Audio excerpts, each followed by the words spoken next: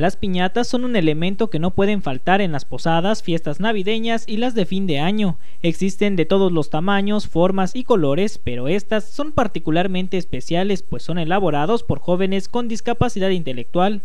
El proyecto de taller de piñatas ubicado en la región 94 de Cancún surgió hace 24 años y Lidia Rojas, perteneciente a la mesa directiva de la Asociación de Padres de Familia con Hijos con Discapacidad Intelectual, nos comenta al respecto.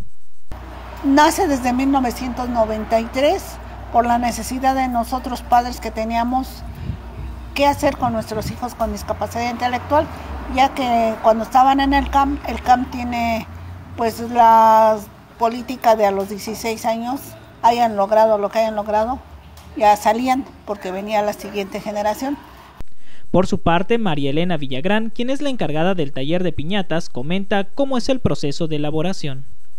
Bueno, Adán arma estrellas, viste estrellas, empapela globos, desmolda piezas para hacer los muñecos. Mencionó que este año los jóvenes elaboraron alrededor de 500 piñatas que fueron vendidas en su totalidad. Por su parte, Lidia Rojas nos habló de la participación de la población para mantener este y otros talleres con sus donativos y compras. Es muy bueno porque nuestra piñata es de mucha calidad. En eso porque queremos que se lleven la piñata porque les agrada, no porque vienen a darnos un donativo. Pero que hay gente que nos compra y nos favorece y nos ayuda comprándolas aquí. Empezamos precisamente con piñatas porque es un taller donde ellos no podían tener algún accidente ni nada, entonces es un muy noble el taller. Entonces ellos aquí empezaron.